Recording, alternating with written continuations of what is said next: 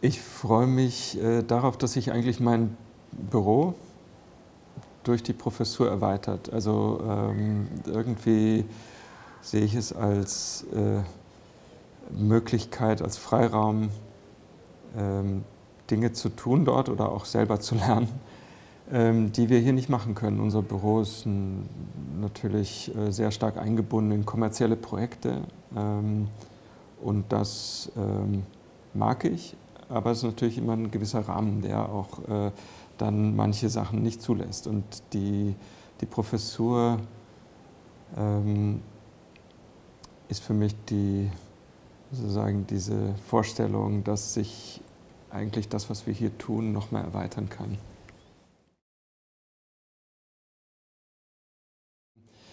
Ich glaube, der, äh, die Klasse wird hauptsächlich aus vielen Einzelgesprächen äh, bestehen, aus regelmäßigen ähm, ähm, kollektiven ähm, Besprechungen, wo es darum geht, gewisse Themen, die relevant sind für das, worum es geht, nämlich Design, zu besprechen, aber auch natürlich eigene Arbeiten, also Arbeiten der Studierenden äh, vorzustellen.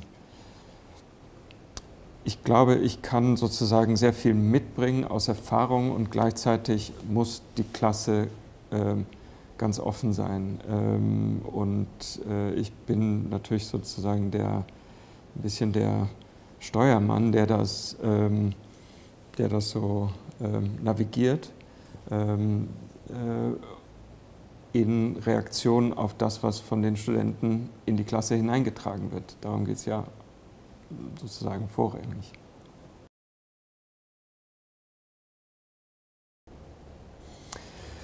Ja, meine Praxis ähm, hieß bis vor zwei Jahren noch Industrial Design, Constantine Gilchrist Industrial Design. Ähm, das hat mich also über viele Jahre begleitet und war sehr bewusst gesetzt. Ich wollte für die Industrie arbeiten. Also das tun wir auch heute noch in der, ähm, sozusagen in der Mehrheit der Projekte. Ähm, das ist nicht reine Dienstleistung, ähm, sondern hat auch eine gewisse Autorenschaft.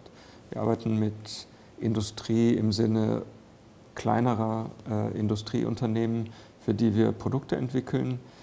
Ähm, das passiert dann natürlich, äh, geht es um Gestaltung, es geht um die Entwicklung gewisser Funktionen, es geht auch um die Entwicklung von etwas, was hergestellt werden muss. Ähm, also das sind drei Aspekte, die Teil dieser Praxis sind und mich auch interessieren.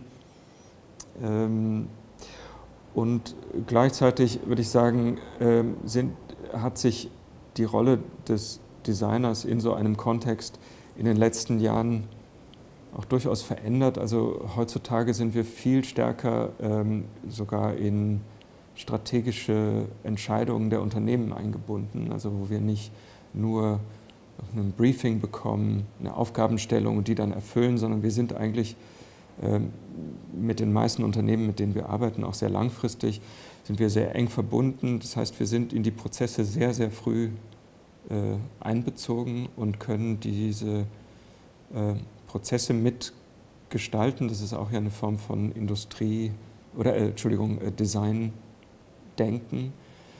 Ähm, wir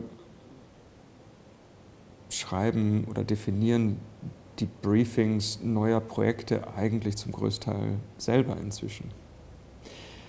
Seit zwei Jahren nenne ich mich nicht mehr ausschließlich Industrial Design, sondern nur noch Design.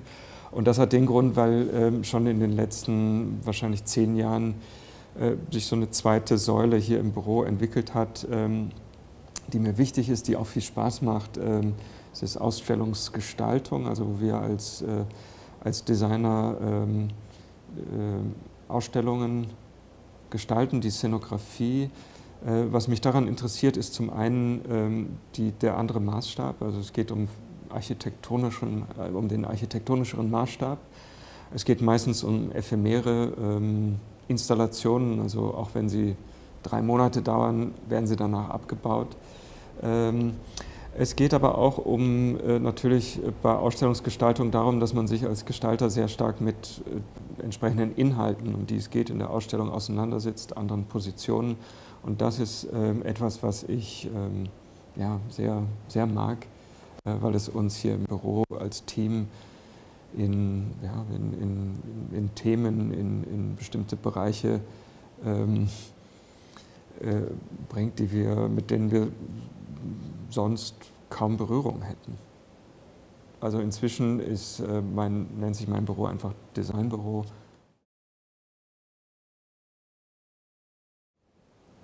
Ich erwarte von den Studierenden ähm, Lust auf das Studium und Enthusiasmus, Interesse. Ähm, natürlich auch die Offenheit, die ganz wesentlich ist für Studierende, die meistens ja jung sind und sozusagen jetzt so, das Studium ist der Anfang von etwas, was die, was die auch machen wollen, weiterführen wollen. Ähm, ich erwarte ähm, auch einen gewissen Fleiß, ganz schlimmes Wort, aber ähm, ich glaube, so, es geht auch darum, das meiste aus dieser Zeit an der Hochschule zu machen. Ähm, das ist nicht nur harte Arbeit und Fleiß, das weiß ich, da geht es auch um ganz viel anderes, um soziale Kontakte, um, um Ausprobieren, um Orientierung. Ähm, und äh, natürlich sozusagen die Offenheit dafür ähm, wünsche ich mir auch. Ähm, naja, und, und möglichst viel Input. Also ich glaube, eine Hochschule wie die HFBK ist ein Ort, ähm, an dem nicht wir als, als Professoren, als Lehrende ähm, den Studierenden irgendwas servieren auf dem Tablett, sondern wo eigentlich äh, der Input eher von den Studierenden selbst kommt und wir als, als Professoren sind diejenigen, die das ähm, die so eine Hilfestellung geben können, den Dialog ermöglichen darüber, was, was ist das, wo könnte das hinführen, wie könnte man das noch weiterdenken, ähm, sogar auch äh, Praxiserfahrung ähm, äh, mitbringen. Ähm, ja, also ich glaube, ähm, ich äh, erwarte von den Studierenden, dass sie dass der Ort der Hochschule ein wichtiger Ort für sie wird. Das kenne ich aus meiner eigenen Erfahrung. Als ich Student war, war ähm, jeder Tag an der Hochschule so der, der wichtigste, beste Tag. Da wollte man sein, weil da sind die Freunde, die Kollegen, da passiert irgendwas, von dem man lernt. Und ich glaube, äh, das muss ich versuchen in der Klasse auch zu etablieren, dass also die, die Klasse an sich schon so ein Ort ist.